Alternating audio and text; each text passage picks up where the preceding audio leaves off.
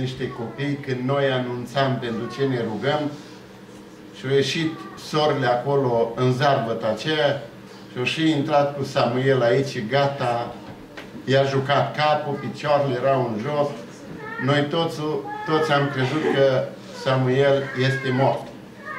Era vânăt și nu mai se putea. Bunica ei i-a pus mâna pe gură aici, i-a suflat ceva aer, noi ne rugam lui Dumnezeu am înălțat glasurile noastre către Dumnezeu și Dumnezeu i-a adus din nou Duhul de viață și i-a pus în Samuel. Și nu a îngăduit ca noi să ne ducem cu el la spital sau astăzi să fim la mormântare. La ăsta Dumnezeu ne rugăm noi. Ca să știți voi, asta a fost numai vineri seara aici.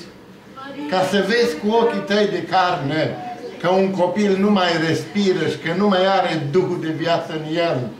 Și Dumnezeu, pentru strigătele noastre, nu pentru meritele noastre, pentru rugăciunile pe care s-au înălțat, i-a adus Duhul de viață din nou în Aleluia! Slăvit să fie Domnul!